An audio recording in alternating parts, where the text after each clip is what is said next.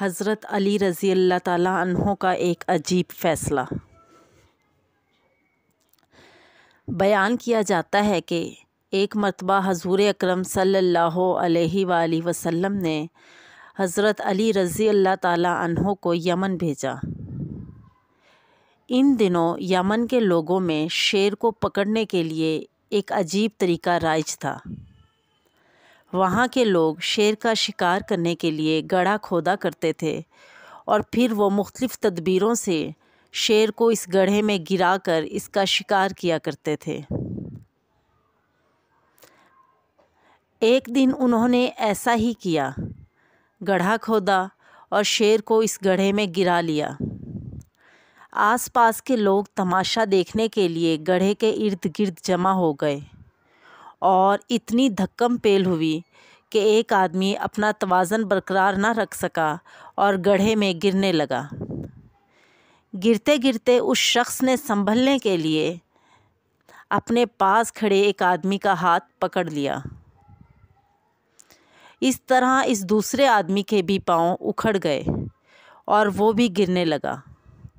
इसने संभलने के लिए एक तीसरे आदमी का हाथ पकड़ा और तीसरे आदमी ने चौथे का। यहाँ तक के चारों गढ़े में आ गिरे।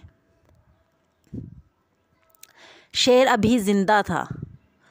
उसने चारों को इतना ज़ख्मी किया कि वहीं इनकी मौत वाक़ हो गई। अब मरने वालों के रिश्तेदारों में झगड़ा शुरू हुआ कि इनका खून बहा, यानी दीत कौन देगा? बातचीत से गुफ्तगु में तेज़ी आ गई। यहाँ तक के तलवारें तक निकल आईं और खून रेजी होते होते बची।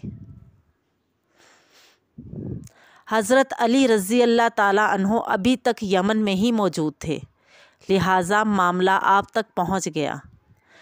पूरा मामला सुनने और तहकीक करने के बाद हज़रत अली रज़ी अल्लाह अन्हों ने यह फ़ैसला फ़रमाया कि इन चारों की दीत यानी खून बहा गढ़ा खोदने वाले पर है।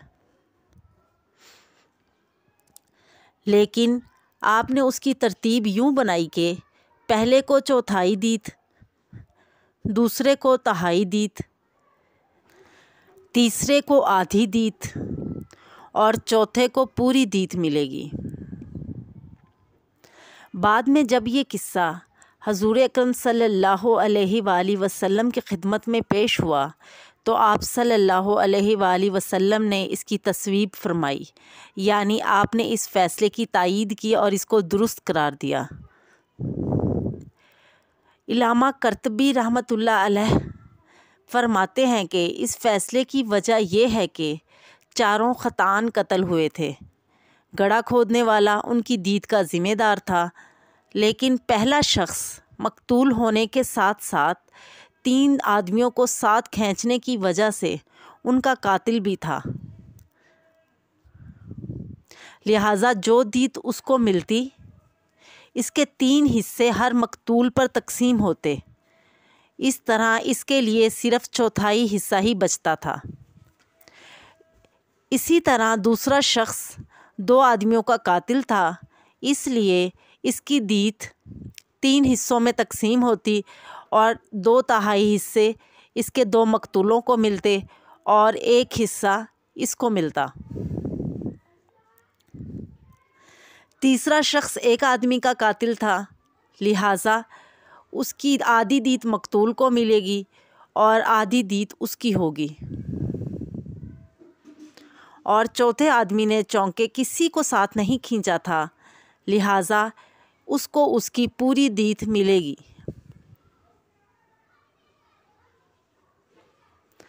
हज़रत अली रज़ी अल्लाह ताला की इसी फ़हम फ़रासत की वजह से आपको बाबुल इल्म, यानी इल्म का दरवाज़ा कहा जाता था। सहाबा कराम रजवान अल्लाह अजमैन अपने अहम मामलात में आपसे मशवरा किया करते थे और आपकी राय को मुकदम भी जानते थे। अल्लाह ताला हम सबको भी दीन और दुनिया दोनों की सूझबूझ अता फ़रमाए। आमीन। जज़ाकल्ला